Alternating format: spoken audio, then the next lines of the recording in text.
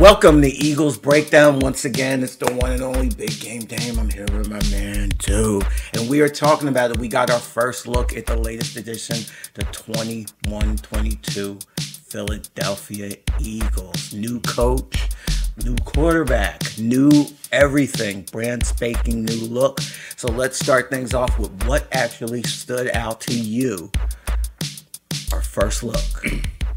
Believe it or not, I was focused on the head coach.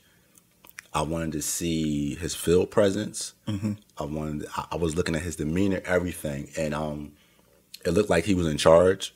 Looked like he had a plan. Looked like, you know, he wasn't like over hype, like rah rah. He just he, Yeah, and he, that's one of the concerns I had was Yeah, him he- being a little too rah rah. yeah, he, he looked he looked comfortable. He, he he looked comfortable. So evaluating him, so to speak, I was I was surprised. I was pleasantly surprised by his demeanor. Um, so that me, I also was looking at a couple positions that people aren't talking about. Like I'm looking at the uh, that left guard. That's a position that I'm looking at. You know, we know the left tackle is having a great camp, and we know the other three, the center and the right side, is if healthy, they're great. Yeah. So I was looking at that right guard. Um, he looked good. Um, I'm not going to say the uh, the tight end's name because it's just like I'm be like that tight end I liked. You know, I'm um, I got my eye on him. So I noticed the tight end. Yeah. I noticed the uh, the right guard. Not noticing is like noticing it's like the the official when you don't notice Oh, the yeah. official. It's, it's a great game. So you know, so that's a couple things that I really dialed in on early.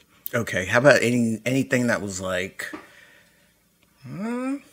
Did you see anything? Because we saw like, you know, and I'll, I'll let me explain that a little bit more detail. Because I agree with you. Like, um, they actually like a lot of the people were saying a lot of the reaction was they actually look kind of crisp. They look kind of crisp. You can tell like the coaching is like they're listening.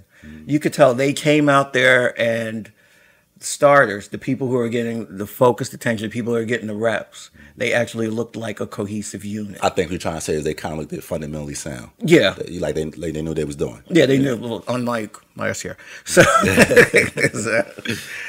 so did anything kind of just like, uh, like you know, kind of on, oh, that, that might need a little work, and then then we'll get specific. We'll get into some specifics. Believe it or not, I think it's the fans' expectations because I, I think I want fans to just remember let's let's not get too excited.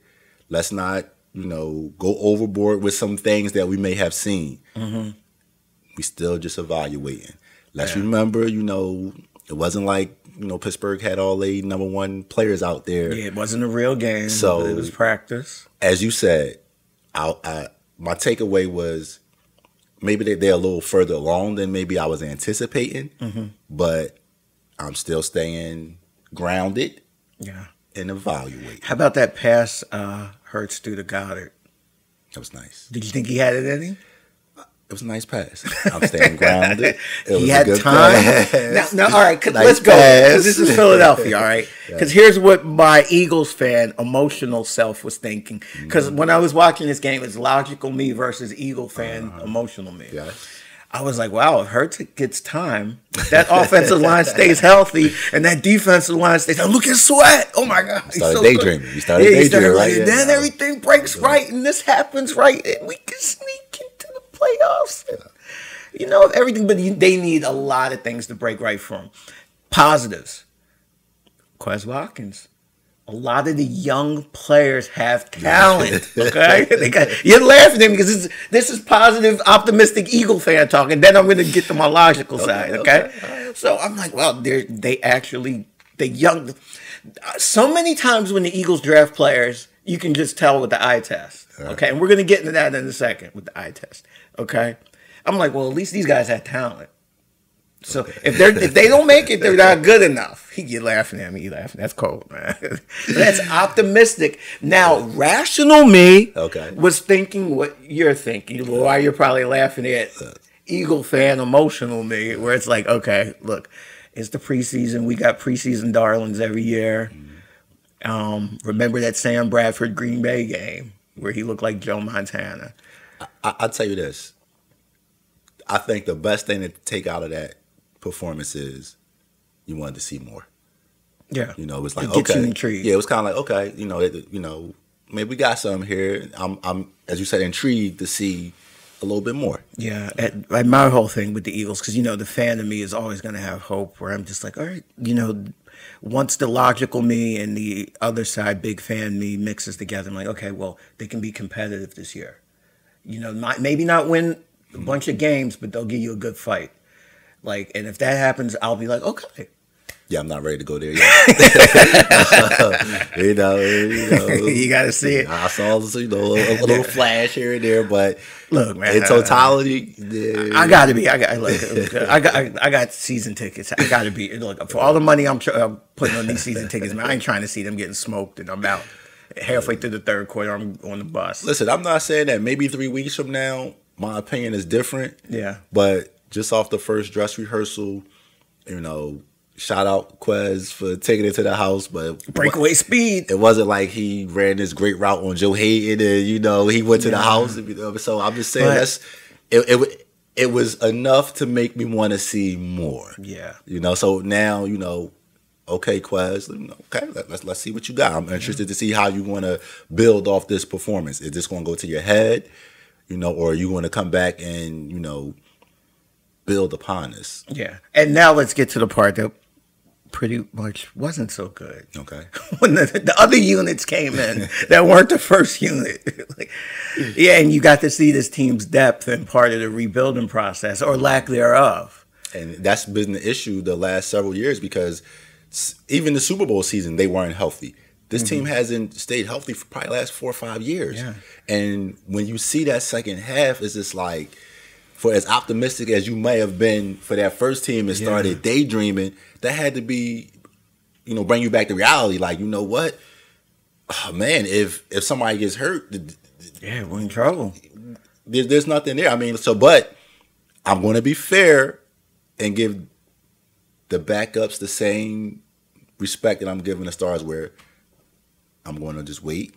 You know, maybe it was jitters because you know these are the second and third Yeah. string teams. A lot of young guys on those first time in the NFL field. You know, Yeah. remember last year there was no preseason, so I'm gonna give them guys a benefit of the doubt. You know, stage might have been a little too big game Yeah. one, so let's let's give them a mulligan. they and did look like a team of bad luck. Slept rocks running around out there. Though. Yeah, it was hard to watch. It was It was it was painful because we actually had to change this segment. We were to break it down by quarter. It was just so bad. They're like, no, we're not going to do that. no, hell to the nizar. We're not going to do that. It was just bad. A lot of it, guys. Just you can just tell, like you said, they just, you know, they weren't getting the reps that the stars got. They just they look green as a gourd. You know, green as a pear tree. So, all right. So let me ask you this. Okay. Any particular player stood out? We're gonna do this. We're gonna we're gonna do anybody stood out, and then we're gonna do something about like So somebody I'm- you were like kind of looking for. I'm, I'm gonna get my buddy Ryan on because you know he didn't say names; he would say numbers or something. Yeah. I'm gonna say the that third string tight end. You know, um, yeah, we, we, we, don't want to jinx him. It's Philadelphia. We're superstitious, so we're not gonna say your name, Um, fam. But we know who you are. he he he he caught my eye. Yeah. you know, he he caught my eye. I said, you And know, just and he hasn't been doing this a long time. We're, we're staying vague. Yeah, but uh, We according to the to the the beat writers that follow the Eagles, Mm-hmm. they've been raving about him this camp. They said like they don't know if the Eagles can hide him on the practice squad. Like he may have to make the team. And there's a couple people, honestly, that you heard good things about, Mm. and then it showed in the preseason. Yeah. So just that's optimistic me again. There was a D tackle too that caught my eye. I'm not going to say his name either, but it was a defensive tackle. Yeah, who yeah. I said, "Whoa!" You know, We're, do, we're doing names regular season right now. We're superstitious because you know there there was a backup defensive tackle, and I said, "Oh, then we can get some depth behind Fletcher and Javon." Okay, like defensive tackle, that can be a strength. So he caught, he, he flashed. It like this: he flashed for me. Yeah. So if you're an Eagles fan, I think hope. There's there's there's there's there's hope there. No, no, I would say there's a reason to see more. I want to There's see a, more. there's a reason to see more. Yeah, we I- might I'm actually intrigued to see more. Yes, and they might not win a ton of games, but you might get to see the older Super Bowl team transition into this new younger team. And that might be a fascinating watch.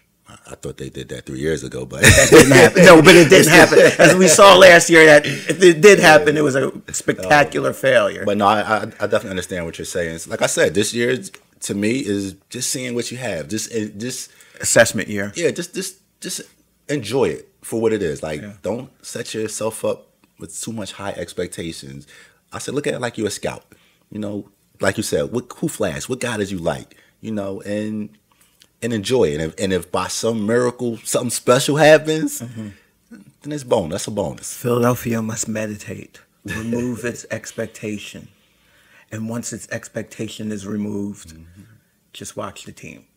now, that's not going to happen because it's Philadelphia. And but- then maybe in a perfect world, we wake up and we like the Phillies. oh, yeah. All right, now we now now. All right, all right. So, how about this? I'm going to call this segment "Fam." I didn't even notice you. Okay. Like, was there a player that was like you were like, okay, like I'm going to keep my eye out for this guy, and I didn't even notice him. um, For me, it's the usual suspects, the guys that were kind of on the bubble, the the high choices, um, where it's like, okay, this is break or bust time for you, and I didn't even notice you, I, I'm, I'm not gonna say so much as not notice. or they didn't stand out enough. I'm getting concerned with Reagor. I, I'm, Yeah, there's I'm, there's a lot around him all the time. I'm, I'm, I'm seeing more excitement about other players at his position. Quez Watkins, you saw that. You saw how everyone, you know, kind of. Um, so you know he had a he had a, a early drop, and I'm pretty sure he'd tell you that's a ball he should catch ten out of ten times. You know, it wasn't a, a prettiest the prettiest of passes, but that's you got to catch that. yeah. So um, and I don't know what his psyche is. I don't know how he would respond to maybe losing out to Quez Watkins. Maybe you know sharing reps with him. So um, that's somebody that I'm watching closely. Yeah. So and you know he did make a pretty decent catch, I think. Um, but it's it's and from what I hear in camp, he's up and down, up and down, up and down. Mine, it's the usual suspects. Like the, I'm gonna be honest, because at first I had Miles Sanders, and then I'm like, oh, stupid. he, he didn't play. Like that's why you didn't notice him. You big dummy. What a block by Sanders! No, it was Howard. I was like, oh, that's Howard. Okay. All right. Then I was thinking just the usual suspects, like the Whiteside. Was he out there? Uh, I think he was third string, and technically he was out there, but Yeah, that's what I meant. Like, fam, I didn't even notice you. One of those. Come on, you went to Stanford. Come on, like, come on, man. show something. At least go in the Eagles front office and do the books with that Stanford education. Something at this point. Um, so yeah, just that. I um, and just a lot of the bubble guys, like a lot of the bubble guys, especially once the starters came out, it was just like we talked about this. Just that second half was so bad.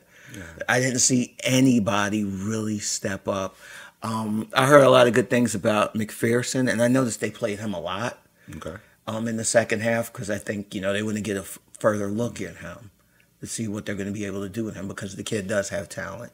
But those are kind of the things that really you know stood out to me out of that muck and mire of the second half. Yeah, like I said, I wasn't as I, I guess disappointed. I just it was kind of expected, and you know I'm looking to see how that how the depth performs next week. I want Yeah. to see you know they got they got some film to watch this week, some things they can look at, and let's see you know who looks better next week. Yeah, so let's do the Siskel and Ebert. So preseason game one, thumbs up, thumbs down, um a thumbs up. thumbs up, Thumbs up. thumbs up. Yeah, I'll do it as well. Let's do. You know, they can't sue us; they're both dead. So Siskel, so thumbs up, thumbs up. So we're stealing your bit. So yeah, so thumbs up. First one for the first unit. There's a lot there to keep us intrigued. All right. So, and I apologize to Siskel and. So I love that show growing up. All right, so that's it because we are straying off topic. So that is going to be it. Thank you for your time. Please remember everywhere you find your favorite podcast, you can find us. Okay. So also all of the social media platforms, comment. Like I always say, we're trying to do this. We're trying to do it a little bit differently than what you see out of Philadelphia. Okay. So I'll see you guys next game. New England Patriots coming in. So we shall do it. Closing up. I'm the one and only Big Game Dame. Thank you so much for your time. This is my man, Do. Thumbs up and peace.